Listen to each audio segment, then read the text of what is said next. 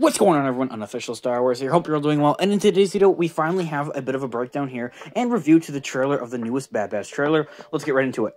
I know I'm pretty late on this actual kind of a breakdown, as there's other people that have actually posted breakdowns and reviews to this trailer, but I do want to have my take on it, and I do appreciate you taking the time out of your day to watch my take on this the whole idea of the beginning of the trailer and that first half of the trailer is much like the sizzle that we got to see a couple of months ago that Disney had released alongside with the Andor sizzle. And honestly, in my own personal opinion, those didn't really tell us too much of what was happening and what was going on. Those were really just to set up a kind of a time frame and confirmation of these shows actually happening. However, this trailer released and showed us a lot of new things, including Saw Gerrera appearing in this upcoming show along with Rex and this new mysterious mysterious girl is what it looks like. It may be a boy, but for now I'm going to say it's a she because it looks like a she, and her name is Omega, which means in the clone, you know, type of language in Star Wars universe, it means last of. So it really does match that whole Clone Wars perspective. Moving on, we also get to see Tarkin even more. I love to see him in Rogue One and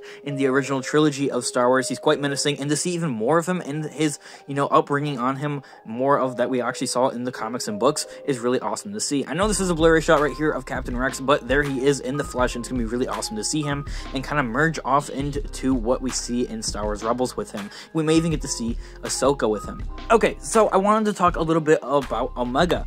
Okay, so she kind of seems to be like a deformed or mutated clone, much like the Bad Batch is actually. However, her mutation made her a female rather than a male, something mixing around with the chromosomes before her birth. And while mutations aren't really quite a common thing with the clones, they aren't necessarily not there. They do happen, especially seeing what the Bad Batch show exactly is and who these people are. I also wanted to point out that thing that she's wearing on her head is actually a thing or a piece of jewelry that the Kaminos actually wear as well on their heads. The Kaminos are those long things with their long necks and type of things that we see there on Kamino.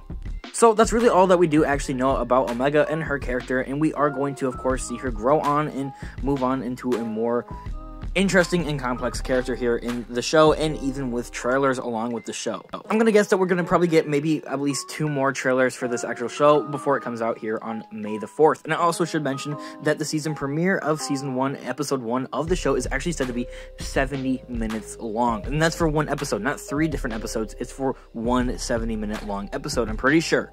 That's my understanding from Star Wars' uh, Twitter official page on that. Okay, so something else that kind of bothered me throughout this whole trailer, and it's actually showing right here on this image that we are on, is that Crosshair doesn't seem to really appear in that second half of the actual trailer.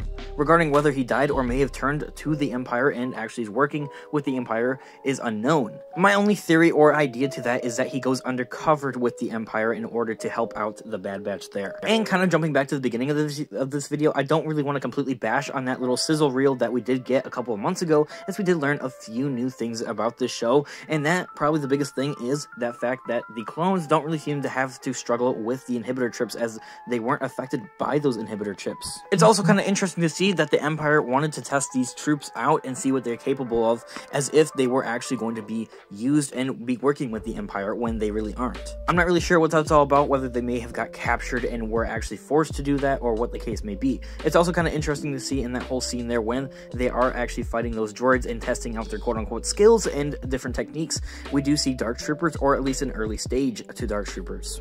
Anyway, that's my full take on this whole trailer and breakdown here, and of course my review on it is a solid 10 out of 10. I'm extremely hyped for this show and haven't seen any backlash or nobody that's actually not really that excited for this show. So go comment down below what you're most excited for in this show. Whether that could be possibly learning about more about Omega and who she exactly is, seeing an appearance of Saw Gerrera and Rex actually appear in the show, and possibly even uh, Captain Rex or Cody I should say, actually also appearing in this show alongside Rex and maybe even seeing the two fight. And also go comment down below who your favorite Bad Batch character is and if you're actually excited learning more a bit about them.